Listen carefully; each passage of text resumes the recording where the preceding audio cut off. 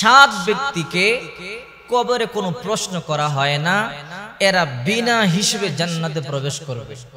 হজরত আনাস বিন মালিক রাদি আল্লাহ তালানহু বলেন, রসুল পাক সাল্লাহ সাল্লাম বলেছেন, যে ব্যক্তিকে কবরে দাফন করা হয়, যারা লাশকে নিয়ে কবরে নামে দাফন করে, এদের পায়ের স্যান্ডেলের শব্দ পর্যন্ত এই কবরবাসী শুনতে আবার বিশ্বনবী মোহাম্মদ রসুল্লাহ সাল্লাহ আলহি ওসাল্লাম বলেন, লাশ কবরে রাখবার পরে তিনটি প্রশ্ন করা হয়।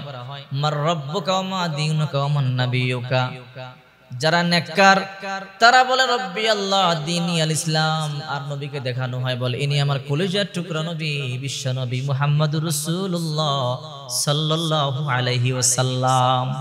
উত্তর দিয়ে দেন নেককার যারা তারা। বিশ্বনবী বলে, উত্তর দেওয়ার সাথে সাথে কবরটা চতুর্দিকে 70 হাত প্রশস্ত হয়ে যায়। অন্য হাদিসের মধ্যে আছে যত দূর পর্যন্ত দেখতে পায়, তত দূর পর্যন্ত কবরটা প্রশস্ত হয়ে যায়। মিন লিবাসিল জান্নাহ। জান্নাতের পোশাক পরিয়ে দেওয়া হয়। ওয়ফতাহু লাহু বাবুন ইলাল জান্নাহ। জান্নাতের সাথে দরজা খুলে দেওয়া হয়। আর বলা হয়, নাম ঘুমাও কানামুল আরজ, যেমন বাসর করে ঘুমাইছো। টেনশন নাই। তবে মনে রাখতে হবে সাত মানুষকে কবরে কোনো প্রশ্ন করা হয় না, যারা শাহিদ। এক নাম্বার যারা শাহাদাত বরণ করে শহীদদেরকে কবরে কোনো প্রশ্ন করা হয় না? ফেরেস্তারা এদেরকে দেখলেই চিনতে পারে এরা শাহাদাত বরণ করেছে আল্লাহর জন্য, আল্লাহর দিনের জন্য। কারণ যারা শাহাদাত বরণ করে, এদেরকে রক্ত মাখা অবস্থা দাফন করা হয়। বিশ্বনবী মোহাম্মদ রসুল্লাহ সাল্লাহ আলহি ওসাল্লাম ময়দানে সত্তর জন সাহাবা শাহাদত বরণ করেছে। বলে, সকলকে তোমরা বিনা গোসলে দাফন করিয়ে দাও। সাহাবা একরাম বলে, কেন ইয়া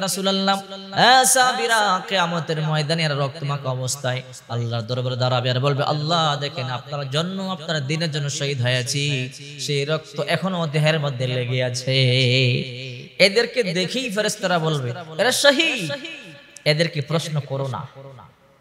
এদেরকে বিনা প্রশ্নে জান্নাতে প্রবেশ করিয়ে দাও। দুই নম্বর, যাদের কবরে কোনো প্রশ্ন করা হবে না, এরা হলো সীমান্ত প্রহরী। দেশ রক্ষার জন্য।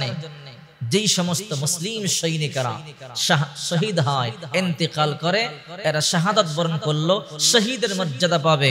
যুদ্ধের ময়দানে গিয়ে শাহাদাত বরণ করলে যেই সওয়াব পাবে, সীমান্ত পাহারা দিতে গিয়ে যারা এন্তেকাল করে, তারাও শাহাদাতের মর্যাদা পাবে। আমাদের দেশের বিজেপি ভাইয়েরা সীমান্ত পাহারা দেওয়ার জন্য অনেকেই শাহাদাত বরণ করে। এরা শাহাদাতের মর্যাদা পাবে।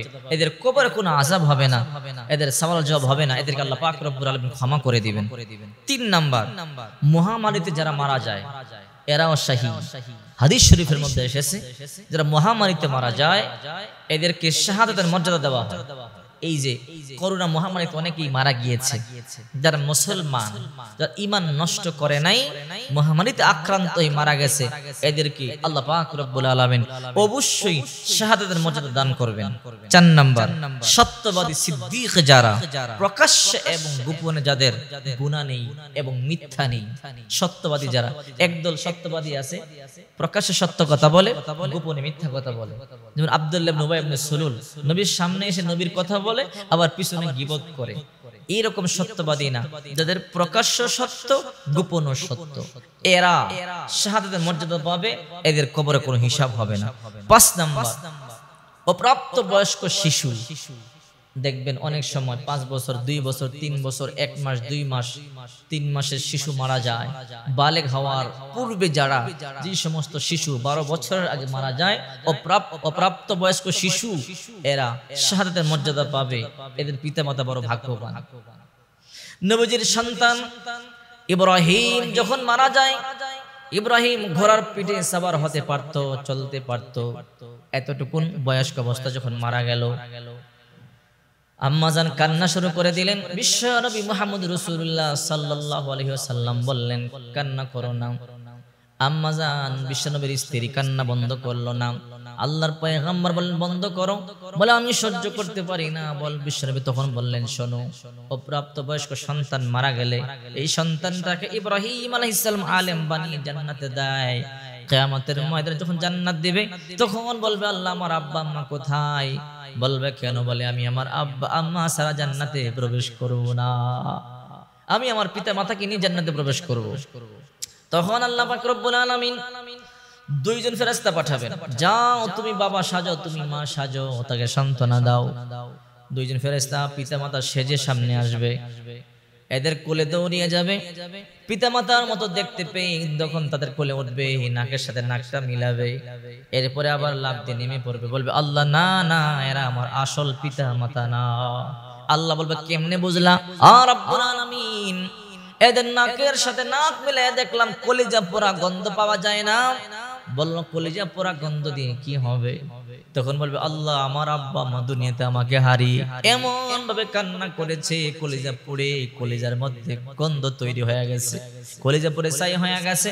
ওগো মালিক, আমার পিতা মাতা আমাকে হারিয়ে বিরহে কান্না করেছে। ওই সুখের কান্না ওই গ্রান আমি ফেরেস্তাদের মধ্যে পাই না। আমার আসল পিতা মাতা আনো, আমি আমার আসল পিতা মাতার কোলে উঠতে চাই আর আসল পিতা মাতাকে নিয়ে জান্নাতে যেতে চাই। তখন আল্লাহ পাক রব্বুল আলামিন বলবেন হে ফেরেশতারা, যাও, তোর আসল পিতা মাতাকে নিয়ে আসো। পিতা মাতাকে নিয়ে আসবে। এরপরে জান্নাতে নিয়ে যাবে। ছয় নম্বর সূরা মুলক। যে ব্যক্তি সূরা মুলক তেলাওয়াত করে কবরে তার তার প্রশ্ন করা হবে না।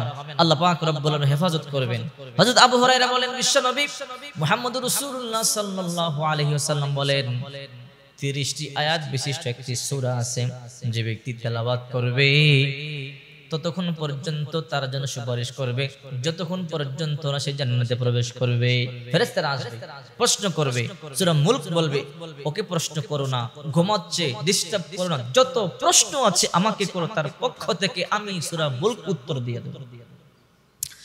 এরপরে সাত নম্বর হলো, বিশ্বনবী মোহাম্মদ রসুল্লাহ সাল্লাল্লাহু আলাইহি ওয়াসাল্লাম বলেন, যে ব্যক্তি জুমার দিন মারা যায় কোন ইমানদার ব্যক্তি যদি জুমার দিন মারা যায়, কোন মুমিন ব্যক্তি তাকে মাফ করে দেওয়া হয়।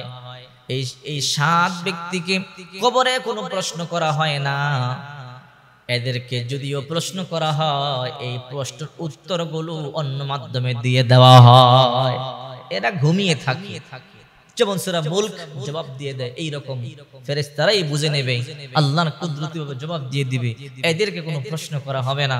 এই সাত ব্যক্তি বিনা হিসেবে জান্নাতে চলে যাবে। টেনশন নাই। কবরে যখন ফেরেশতা ঢুকবে মুনকার নাকির যখন প্রশ্ন করবে দেখলেই তো কম্পন সৃষ্টি হয়ে যাবে। এই জন্য আমরা আল্লাহর কাছে দোয়া করি আল্লাহ যেন আমাদেরকে কবরে প্রশ্নের সম্মুখীন না করে। আরে দেখলেই তো কলিজা গলে যাবে। বিশাল ধার অধিকারী হবে ভয়ঙ্কর অবস্থায় আসবে তবে হ্যাঁ নেককার এবং পরহেজগার যারা তাদের সামনে খুব সুশ্রী বালকের মতো আসবে, এরা কোনো ভয় পাবে না। যারা বৎকার, ভয়ঙ্কর রূপ ধারণ করে আসবে, দেখলেই কলিজা যাবে।